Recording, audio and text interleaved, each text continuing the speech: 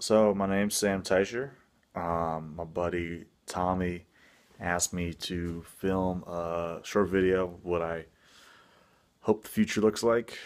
Um, there's a lot of things I hope for, um, and I hope that we still have wonder and can be amazed by things as we progress and become more interconnected and tap into this amazing potential um, and knowledge that is just completely unparalleled in all of human history. At no point have we ever had such access to so many different ideas and moments in time and uh, ways of thinking, whether it's for technology and engineering to literature and music and dance and ways of waging war. Um, just everything that humans can offer, we've got it connected. Um, and as we continue to grow closer to each other, I just hope that we don't lose what also um, brings beauty in the world. And I actually happen to be standing next to these maps of the world I got in my room.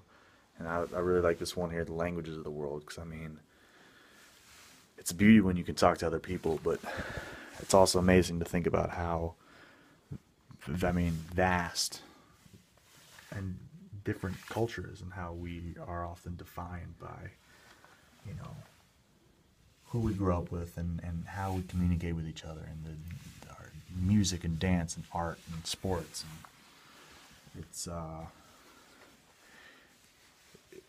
languages are dying.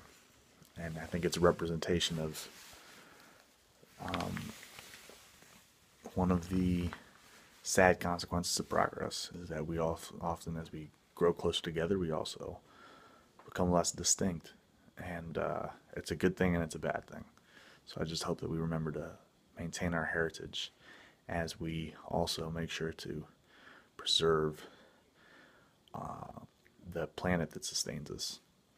I mean, a lot of people talk about climate change as like the doom of the world. I'm not really too stressed about Earth. Earth will be fine. Earth is, is what Earth does. But human civilization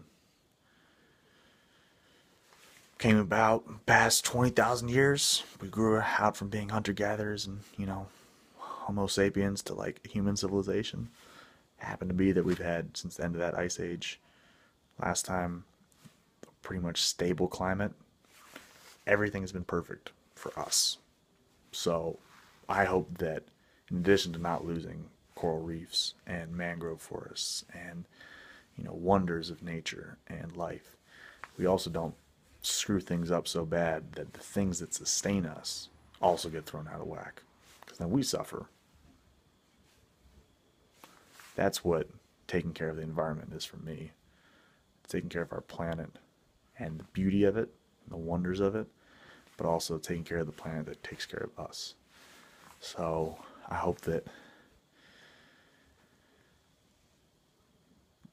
people on islands still have islands to call homes. I hope that peace comes soon um, throughout the world, but um, for me, the, I hope that there's a free and safe Israel and a free and safe Palestine.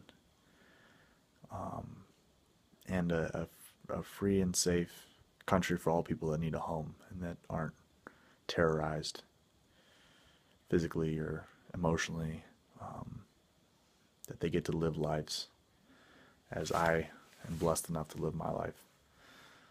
That's what I hope for in the world, and I, I believe it'll happen. I genuinely do. So, I'll see you there.